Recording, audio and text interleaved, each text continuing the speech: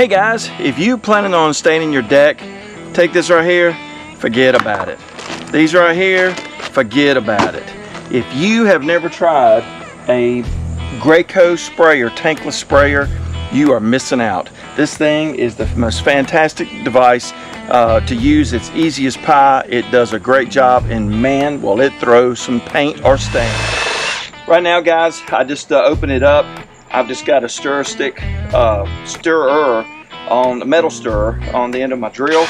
And right now, I'm just gonna work on getting everything all mixed up real good.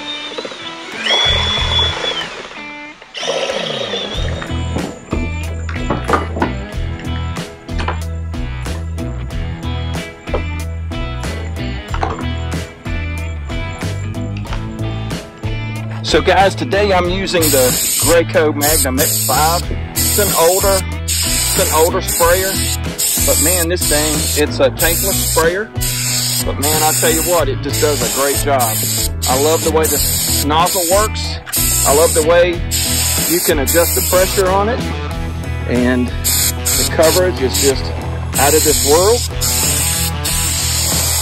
And I'm not sponsored by Graco. I just love the product. This deck is over 30 years old, suffering from major neglect.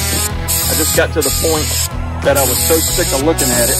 In fact, if you uh, go to some of my other videos, I'll add it in.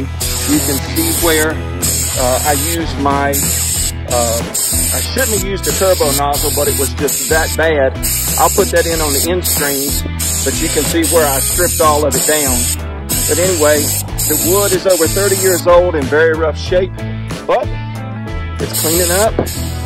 So one re really cool thing that's a feature about this is, let's say for example, my, my pressures are pretty good, but let's say I had the pressure turned way up and I'm painting my pickets and going up and down and I'm getting a whole lot of overspray. The cool thing about this is you can turn the power, the uh, pressure down and you can really reduce the overspray and not waste uh, so much of your product.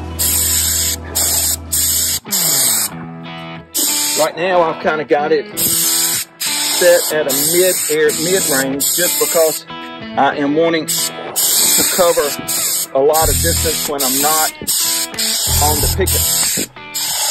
And what I'm doing is I'm moving really quickly while I'm on the picket and I'm doing up real close to kind of reduce that overspray.